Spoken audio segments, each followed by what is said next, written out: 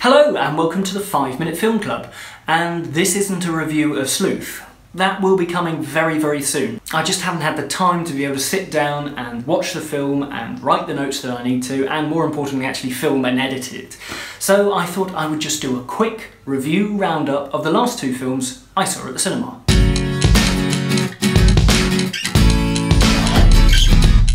First up, Ghostbusters. Oh, the internet trolls had their fun, didn't they, before this film came out? Yes, those horrible, evil little commenters on the internet. And when the film came out, that wasn't enough for you. No, you still had to go online and produce more bile. So uh, thank you, well done for that. Of course, all of this is sarcastic and uh, I hate you. So anyway, the review of Ghostbusters. It's a good film. It's a good, funny film.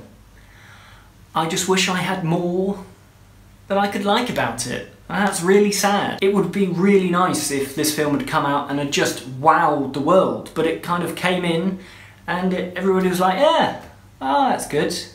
That's nice, you know.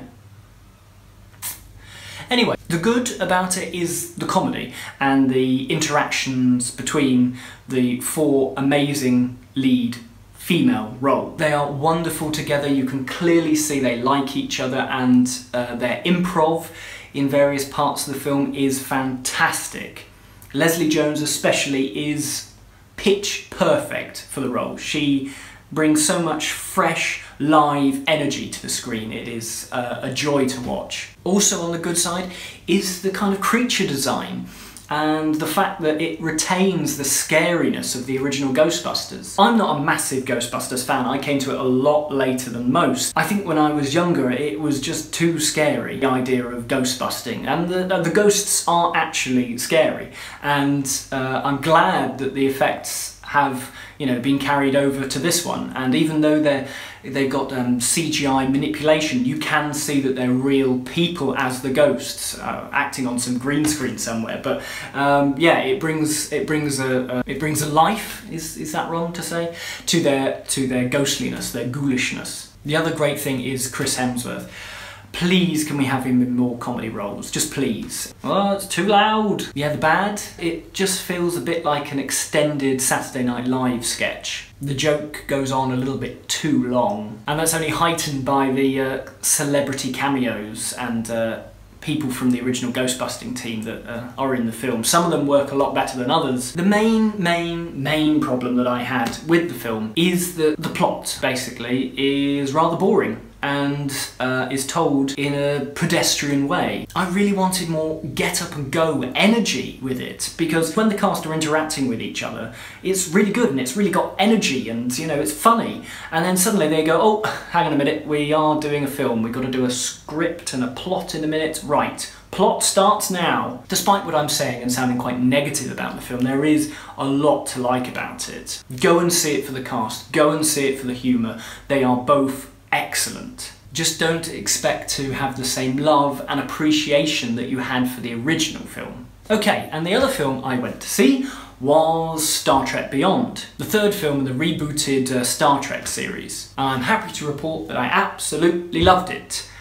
It's not perfect, no, but it is a great popcorn summer action box office extravaganza. This is the 50th anniversary of Star Trek, and I'm not a massive Trekkie, I've always liked Star Wars more, but I am part of a generation that here in the UK, BBC Two meant just three things. After school, there was The Simpsons, Fresh Prince of Bel-Air, Neighbours, sorry, four things, and of course, Star Trek, the Next Generation. This film is co-written by Simon Pegg and has some uh, wonderfully meta comedy the way that they destroy the villains at the end just had me beaming a massive smile on my face and also tapping my feet along to the soundtrack.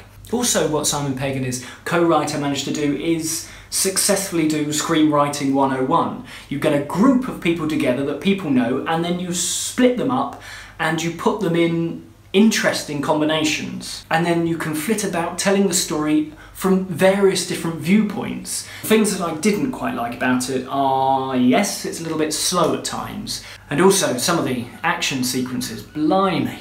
It was, it was like this. And seeing it in 3D Uh, yeah, I had to raise my glasses up a few times just to just to step back. Idris Elba. Oh, I didn't say anything about Idris Elba. Amazing as the villain. He at no point tips over into the campy kind of villain that um, so easily could have happened. And as the film goes along, his character only gets better, and this actually about the whole film, it does get better as it goes along. Yeah, it, it does build correctly, and it has a proper climax. Yeah, I enjoyed Star Trek Beyond.